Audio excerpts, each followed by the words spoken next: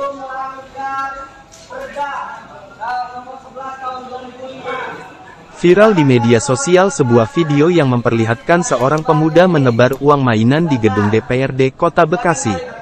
Pemuda tersebut melangsungkan aksinya di tengah rapat paripurna hari ulang tahun, HAT, ke-26 Kota Bekasi, Jumat, tanggal 10 Maret tahun 2023. Dalam video yang diunggah oleh akun Instagram @terangmedia, tampak pemuda itu menebarkan uang mainan dari lantai 2 gedung DPRD. Aksi pemuda itu dilakukan ketika pelaksana tugas, PLT, Wali Kota Bekasi sedang memberi sambutan di depan anggota DPRD dan seluruh tamu undangan.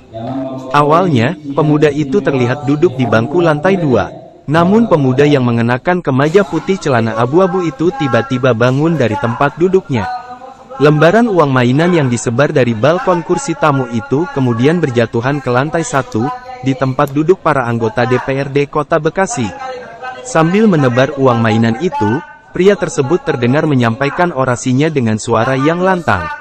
Pemuda tersebut meminta pelaksana tugas, PLT, Wali Kota Bekasi Tri Adianto mengklarifikasi suatu hal yang berkaitan dengan Perda Nomor 11 Tahun 2005 dan pencegahan perjudian di Kota Bekasi. Silakan kalian mengklarifikasi karena itu melanggar Perda Nomor 11 Tahun 2005. Jangan rusak kota Bekasi yang insan ini dengan hasil perjudian yang haram dan melanggar undang-undang, ujar pemuda itu setelah melempar lembaran uang palsu. Melihat aksi pria itu, PLT Wali Kota Bekasi yang sebelumnya tengah berbicara kemudian seketika berhenti.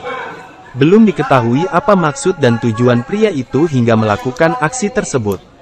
Namun, setelah menyampaikan orasinya, pemuda itu kemudian langsung diamankan oleh petugas dan dibawa turun dari lantai dua. Jika diperhatikan, uang mainan yang ditebar memiliki nominal Rp100.000. Salah satu sisinya tampak gambar proklamator Ri Soekarno dan Muhammad Hatta. Sedangkan pada sisi lainnya tertulis, Rp100.000 saja, dan tulisan, Bank Mainan Indonesia. Aksi pria yang menebar uang mainan di tengah rapat paripurna HAT Kota Bekasi itu viral dan beredar di media sosial.